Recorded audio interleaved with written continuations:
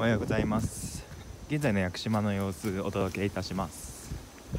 ところどころ木がね倒れかかってたりとかするはして停電はしてるもののまあ目立った被害はないかなという形ですね。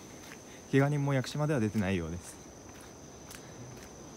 ただやっぱ木とか風が結構強かったのがあって停電してからも何回か保安員の方かな電気の検査する方が何度か直してくださったみたいなんですけれども結局昨日の午後4時ぐらいからずっと今のところ停電しています。ただ復旧するの早い見込みだとおっしゃってましたね。こちらの林もすごい草がたくさん生えていたんですけどもうそういうこと一切なく細い木は中には折れてるものもたくさんあります。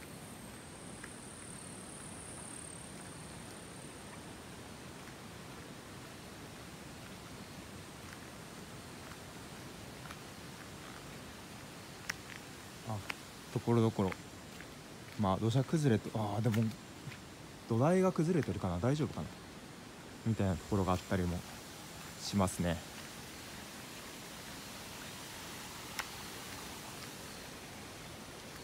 あー結構これ奥まで見ると分かりますけど木々が倒れていたりしますね。この辺はもう草もバーってやられちゃって。